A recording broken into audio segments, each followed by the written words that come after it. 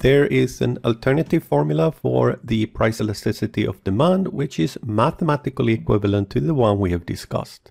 It states that the price elasticity of demand can be calculated as the derivative of log Q with respect to log P. If you haven't seen these types of derivatives before, then you will likely find this expression more confusing than helpful. However, for certain functions, it does allow for easy calculation of the elasticity. Let's consider again the demand function q equal to 4 divided by p. If I take the log of both sides, I get log q equal to log of 4 minus log of p. The derivative of log q with respect to log p cannot trivially be found to be equal to minus 1. This formula is useful for power functions but useless for linear functions. For linear functions, use dq dp times p over q. Let's look at one of the main reasons for why elasticity is such a popular measure. Again, Q is a given demand function. The derivative dq dp has important information. It tells us how responsive demand is to changes in prices. However, the main problem with the derivative is that it depends on units. For example, let's say that we are looking at the market demand for gasoline in a given country and that we measure Q in liters and P in the national currency, for example, euro. The derivative will then be measured in liters per euro, and such a number will be hard to interpret and even more difficult to use if you want to compare demand dependence between, say, two countries. On the other hand, the price elasticity of demand is also a measure of how demand reacts to changes in prices, but this measure is unit free. This is easy to see using our example. The derivative is measured in liters per euro, we multiply the derivative by p over q to get the elasticity. p is measured in euro and q in liters. The units cancel and the elasticity has no units. This should not be too surprising. The percentage change is always unit free and the elasticity is approximately the ratio of two percentage changes. So this is really why we multiply the derivative by p over q. It's the only way to get a unit-free measure of how sensitive Q is to changes in P. A unit-free measure is much simpler to interpret. If the price elasticity of demand for gasoline is minus 0.03, then it makes no difference if we have measured quantity in liters, gallons or pints, and it makes no difference which currency we have used.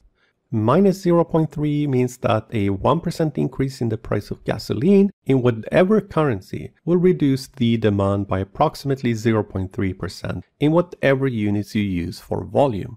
It also makes it much simpler to compare demand sensitivities between, say, countries. Let's define what we mean by elastic and inelastic demand. Epsilon is the price elasticity of demand at a given price P. Keep in mind that epsilon is a function of p and epsilon will be different for different prices. Now epsilon is nearly always a negative number. The only exception is if the good is a Giffen good. We can remove the minus sign by taking the absolute value of epsilon. If the absolute value of epsilon is greater than 1, then we say that demand is elastic at the given price p. In this case, increasing P by 1% will lead to a decrease in demand by more than 1%. If demand is elastic, then it is price sensitive. The demand for a good tends to be elastic if the good has close substitutes. If there is an increase in price, then consumers tend to abandon the good for a substitute and demand will fall by a lot, making the demand for the good elastic. On the other hand, if the absolute value of the price elasticity of demand is less than 1, then we say that demand is inelastic. Inelastic demand means that the demand is not very price sensitive. Consumer will not reduce their demand very much if there is an increase in the price.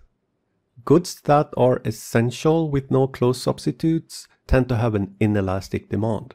Insulin is often given as an example of a good with a very inelastic demand. You should memorize which one is which, since these two concepts tend to come back over and over in microeconomics. I think it's useful to think of elasticity of materials. For example, a rubber band is very elastic. Small forces will change its size significantly, just like small price changes will change demand significantly if demand is elastic. Keep in mind that demand may be elastic at one price, but inelastic at another price. However, it is common to see statements such as the demand for gasoline is inelastic.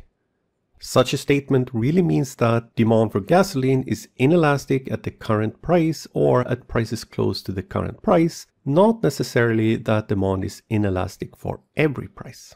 For a certain class of demand functions, the price elasticity of demand will be constant and independent of P.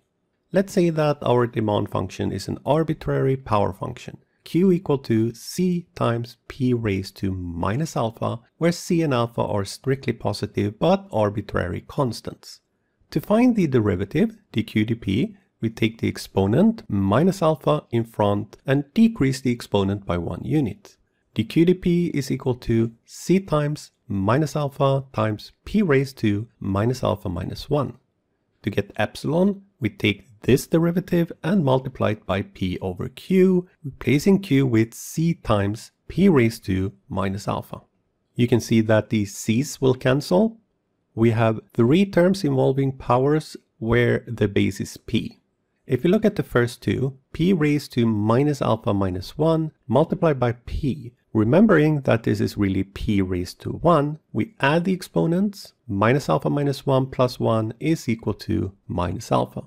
The product of p raised to minus alpha minus 1 times p is equal to p raised to minus alpha, and this will cancel with the p raised to minus alpha in the denominator. No p's left in our expression.